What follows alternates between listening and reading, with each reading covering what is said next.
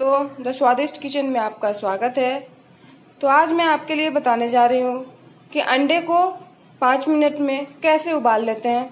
तो चलिए, अब मैं स्टार्ट करती हूँ। मैं छः अंडे ली हूँ। मैं एक एक करके सारे अंडे कढ़ाई में डाल लूँगी। अब मैं इसमें दो कप के हिसाब से पानी डाल दूँगी।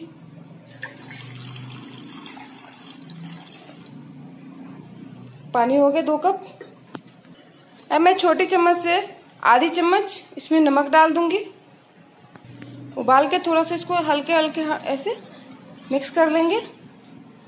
अब मैं इसे गैस ऑन करके गैस पे रखूँगी।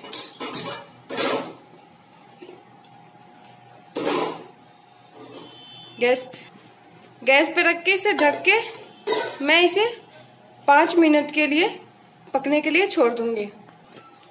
आँच को मीडियम फ्लेम पे रखेंगे, ताकि हमारा पानी जले नहीं और अंडा अच्छे से पक जाए। दोस्तों, अब मैं अंडे को चेक कर लूँगी। देखिए, ये अंडे में फट रहे हैं। इसका मतलब अंडे उबल चुके हैं। अब मैं इसे गैस बंद करके नीचे रख लूँगी।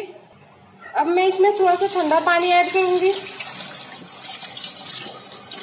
ताकि मेरे अंडे ठंडे हो जाएँ। और मैं इसे अच्छे से इसके छिलके हटा सकूँ? मैं इसे एक मिनट ठंडे पानी में रहने दूँगी। उसके बाद जब ये ठंडे हो जाएँगे, तब मैं इसके धीरे धीरे करके छिलके हटा लूँगी। देखिए, इसी तरह करके मैं एक एक करके सारे अंडे के छिलके हटा लूँगी। देखिए, मैंने सारे अंडे उबाल के छिलका हटा लिए हैं।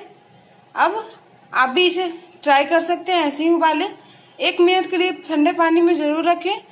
ताकि छिलके अपने आप छोड़ देते हैं तो छिलका हटाने में हमें आसान, आसानी मिलती है।